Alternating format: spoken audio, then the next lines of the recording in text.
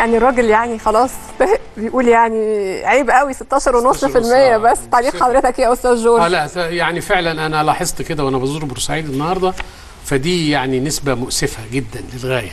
ده الراجل بيقولها من. قلبه. لا لم تحدث يعني عيب. يعني البورسعيدية كانوا دايما سباقين إلى إنهم يدلب أصواتهم. الحاجة الثانية إنه آه، أنا مستغرب إزاي آه، رجل الحزب الوطني ياخد ضعف آه، فحصل يعني كلام مش كويس بالنسبة لل للمرشح الآخر وأنا مش ما عنديش استعداد يعني إيه كلام. مش كويس؟ يعني فيها بعد طائفي بعد طلع طائفي. على طول فيها في بعد. طائفي طبعا مش عايزة كلام آه. يعني كان واضح جدا آه. وحذروني الصبح من ذلك بس أنا كنت محايد لأني كنت براقب الانتخابات إيه أكرم الموضوع لا حصل في هذه الدائرة يعني إحنا بنستغرب انه مرشحين بيقولوا على نفسهم ليبراليين ومرشحين من النظام السابق كانوا بيقفوا ضد الإخوان. بيقولوا يعني. وف- ونفاجأ في هذه الانتخابات في حدائق القبة في الساحل في بورسعيد. دعاية طائفية. لا وفي شبرا ورود وفي شبرا الفرج ورود الفرج حصل دعاية كان طائفية. في دعاية طائفية من الجانبين. في طائفية. دعاية. من مرشحين مسيحيين طائفية ودعاية من مرشحين مسلمين طائفية. الاثنين موجودين للأسف الشديد بنفس الدرجة. وده شيء في الحقيقة ده نتيجة نظام الانتخاب. ما هو ده دي الانتخابات التقليدية اللي بتعتمد على الدين وعلى الطائفة وعلى العيلة وعلى العشيرة وعلى القرية والتكتل القروي. دي انتخابات ما قبل العصر الحديث. العصر الحديث ما فيهوش الكلام ده.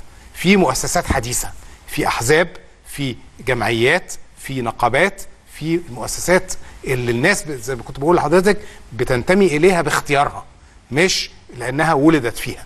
ده الفرق بين ما قبل العصر الحديث والعصر الحديث اللي إحنا للأسف مش قادرين ندخله حتى الآن. واقفين على بابه بقالنا قرنين بندق على الباب. ندخل خطوة ونخرج خطوة أو خطوتين. ندخل خطوة ونخرج خطوة أو خطوتين. ونظام الانتخاب أحد العوامل اللي بتساعد. على التقدم أو بتؤدي إلى التخلف. لأنه إحنا بندفع الناس إنهم يعملوا كده. لو بنظام انتخاب تاني هؤلاء الناس نفسهم اولا تركيبة المرشحين هتختلف.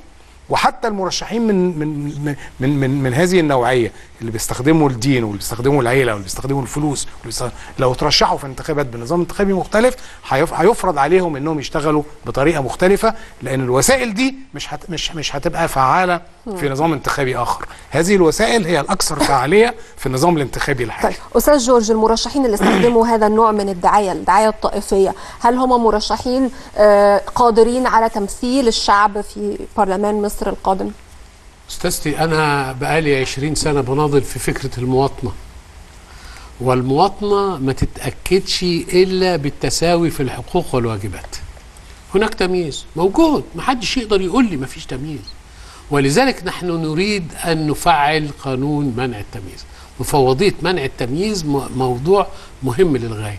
لأن أي حد هي يعني هيلعب هذا الدور هيبقى قدام القانون ونتمنى إن القانون ينفذ بحذافيره وليس أو تبقى مفوضيه فعالة. فعالة. مفوضية وق- فعالة. وقادرة- ولذلك أنا شخصيا لما يقول لي قبطي ومسلم بحس كده إني مش مستريح. أنا عايز أؤكد فكرة المواطنة.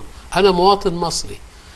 أختار على أساس الكفاءة وعلى أساس التميز وعلى أساس إن أنا هدي لمصر. دي حاجة يعني مش شرط إنه يعني الدعايه أنا وأنا داخل بورسعيد كل الدنيا كلمتني. الحق وبتاع. الكلام ده.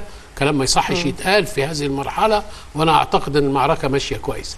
لكن للأسف الشديد هذا استخدم استخدام غير محترم وللأسف الشديد. وأنا أعتقد إنه في طريقنا إلى تفعيل فكرة المواطنة هي دي الحاجة الأساسية الوحيدة اللي تفك هذا الاشتباك أنا سؤالي برضو هل النائب ده اللي رشح نفسه بالطريقة دي وعمل نفسه بالطريقة دي وعمل دعاية آه، عنصرية بهذه الطريقة يعني هل هو قادر إنه يمثل مصر؟ وهو اللي دفع رشاوي قادر يمثل مصر. ما ده زي ده. يعني الاثنين اسوء من بعض. آه، لا طيب الاثنين آه. يتساووا. اللي بيعمل فتنة طائفية ده أو داخل على أساس طائفي ده ما يقدرش يمثل أي حاجة في الدنيا إلا مصالحه الخاصة. والتاني برضو اللي, بي اللي اللي رشا الناس عشان يخش الانتخابات بيمثل مصالحه أستاذ جورج حضرتك مش راضي يعني على البرلمان ده؟